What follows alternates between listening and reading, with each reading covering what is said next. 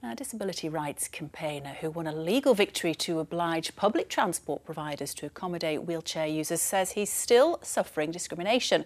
Doug Paulley from Wetherby started his legal battle when he was refused access onto his local bus. Seven years on, he says similar things are still happening, as Carla Fowler now reports.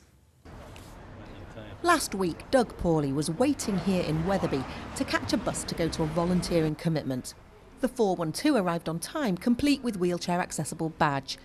But the driver refused to let Mr. Paulley on, telling him it was down to a lack of extra staff and no risk assessment.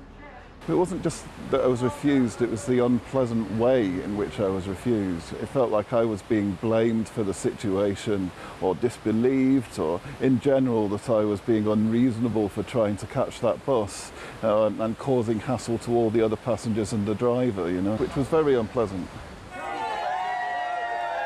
Back in 2017, Doug Paulley won a legal challenge at the Supreme Court, proving disabled people have the right to catch a bus and companies must make all reasonable efforts to provide full access.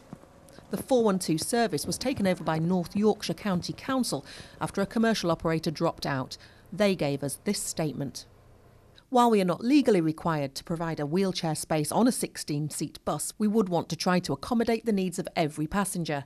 We are really sorry that the gentleman was not able to use this service and are reviewing how we might address this in future.